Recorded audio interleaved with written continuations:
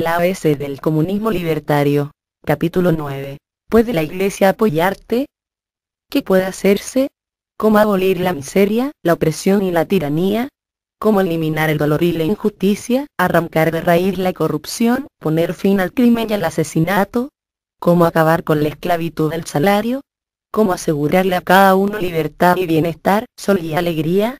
Retorna hacia Dios, ordena la Iglesia. Solamente una vida cristiana puede salvar el mundo.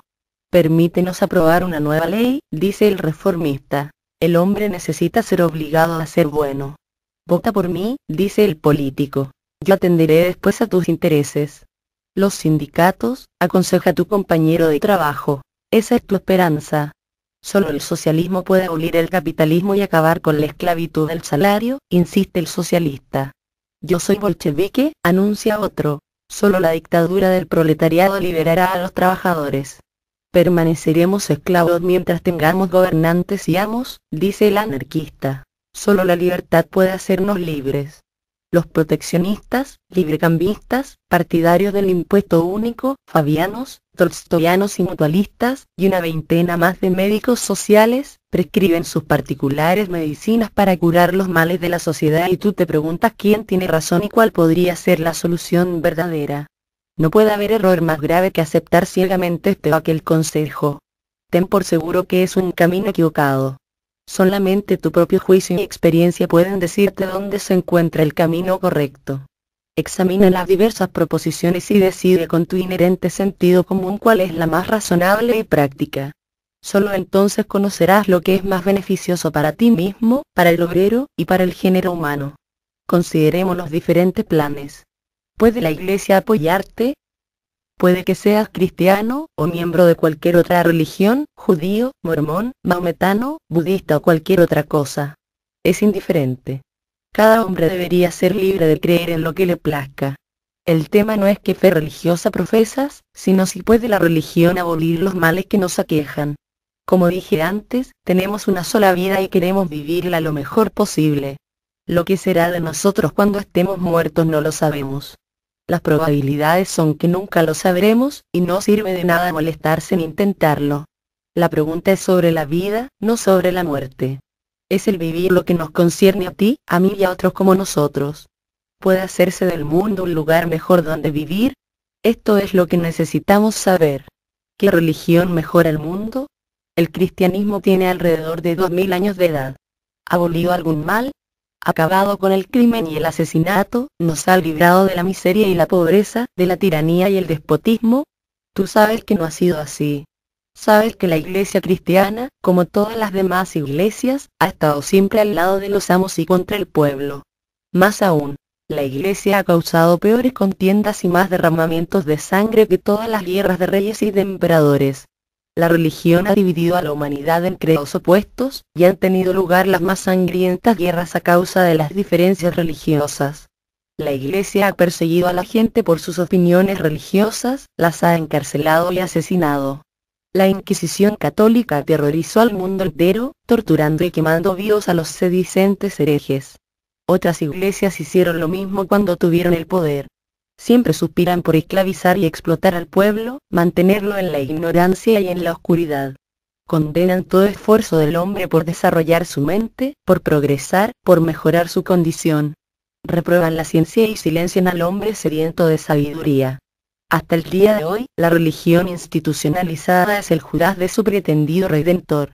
Aprueba el asesinato y la guerra, la esclavitud del salario y el pillaje capitalista, y siempre se pronuncia a favor de la ley y el orden con las que crucificaron al Nazareno. Piensa que Jesús pretendía que todos los hombres fuesen hermanos, que viviesen en paz y en buena voluntad. La Iglesia mantiene la desigualdad, la disensión nacional y la guerra. Jesús condenó a los ricos como víboras y opresores del pobre.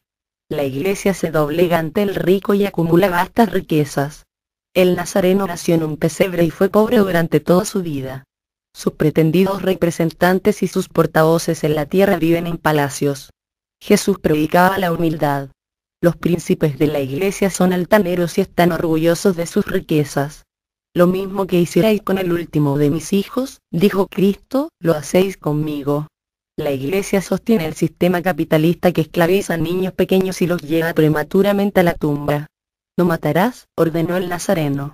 La iglesia aprueba las ejecuciones y la guerra. El cristianismo es la mayor hipocresía creada. Ni las naciones cristianas ni los individuos practican los preceptos de Jesús. Los primeros cristianos sí lo hacían, y por eso fueron crucificados, quemados en la hoguera o arrojados a las fieras en el circo de Roma. Más tarde, la iglesia cristiana llegó a un acuerdo con los que tenían el poder, ganaba dinero e influencia poniéndose al lado de los tiranos y contra el pueblo. Dio por bueno todo lo que Cristo condenó, y por eso se granjeó la voluntad y el apoyo de los amos y los reyes. Hoy en día, rey, amo y sacerdote son una trinidad. Crucifican a Jesús diariamente, lo glorifican con servicios religiosos solo de palabra y lo traicionan por monedas de plata. Alaban su nombre pero matan su espíritu. Es obvio que el cristianismo es la mayor impostura y vergüenza de la humanidad, y un completo fracaso, porque la súplica cristiana es una mentira. Las iglesias no practican lo que predican. Además, te predican un evangelio que saben incompatible con tu vida, te incitan a que seas mejor persona sin darte una sola posibilidad de serlo. Por el contrario, las iglesias sostienen y apoyan las condiciones que te hacen malo, mientras que te ordenan que seas bueno se benefician materialmente con el régimen existente y están interesados económicamente en mantenerlo. La Iglesia Católica, la Protestante, la Anglicana, la Ciencia Cristiana, la Mormona y el resto de denominaciones se cuentan hoy en día entre las organizaciones más opulentas del mundo. Sus propiedades y riquezas se han amasado con la sangre y la carne de los obreros. Su radio de influencia es una prueba de cómo se engaña al pueblo. Los profetas de las diferentes religiones yacen muertos y olvidados, solo quedan las ganancias. Pero si nosotros viviéramos una vida cristiana, remarcas, el mundo sería diferente. Tienes razón, amigo mío.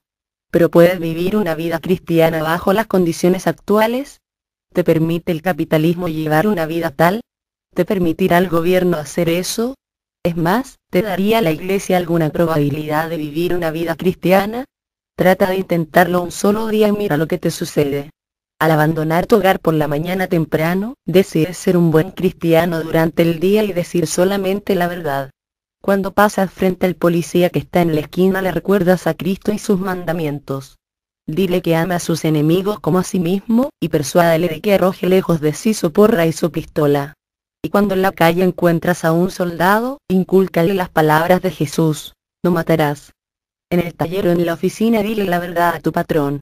Háblale de la advertencia del Nazareno. ¿Para qué te servirá ganar el mundo entero si pierdes tu alma y tu salvación? Menciónale que Él nos ordenó partir nuestro último pedazo de pan con un pobre, que le es más difícil a un rico entrar en el cielo que un camello pasar por el ojo de una aguja.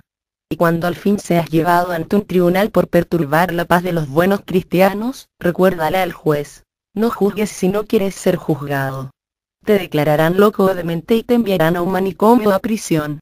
Puedes ver qué gran hipocresía que los pilotos celestiales 10 te prediquen una vida cristiana. Saben también como tú que bajo el capitalismo y el gobierno es tan imposible llevar una vida cristiana como el camello pasar por el ojo de una aguja. Todas aquellas buenas gentes que pretenden ser cristianas son, simplemente, unos hipócritas que predican lo que no puede llevarse a uno la práctica, puesto que no te procuran ninguna oportunidad de que lleves una vida cristiana. No, ni siquiera una vida decente y honesta, sin farsas ni engaños, sin fraudes ni mentiras. Es verdad que si pudiéramos seguir los preceptos del Nazareno, la vida en el mundo se tornaría diferente. No habría entonces ninguna guerra ni asesinato, ningún fraude, mentira o búsqueda del lucro. No habría amo ni esclavo y todos viviríamos como hermanos en paz y armonía.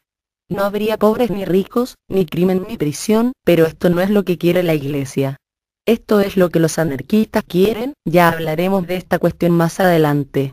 Así, amigo mío, nada tienes que esperar de la Iglesia cristiana ni de ninguna otra iglesia. Todo progreso y superación ha sido hecho en el mundo contra la voluntad y el deseo de la Iglesia. Puedes creer en la religión que te plazca, pero no pongas en la Iglesia ninguna esperanza de mejoras sociales. Vamos a ver, ahora, si el reformista o el político pueden ayudarnos. Nombre coloquial en el ejército y en las prisiones de los Estados Unidos para referirse a los curas.